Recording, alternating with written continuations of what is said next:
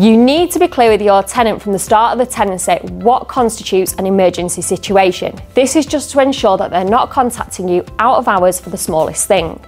Generally, an emergency situation is things such as loss of heat, loss of power, loss of water, break-in, fire or flood. Anything outside of that will not be classed as an emergency and you should make sure that they know that they should not be contacting you for anything else. Also, if they do have two toilets at the property and one of them is blocked and they have another working usable toilet, that is not classed as an emergency and they should not be calling you or your agent out of hours in order to get someone to come and fix that.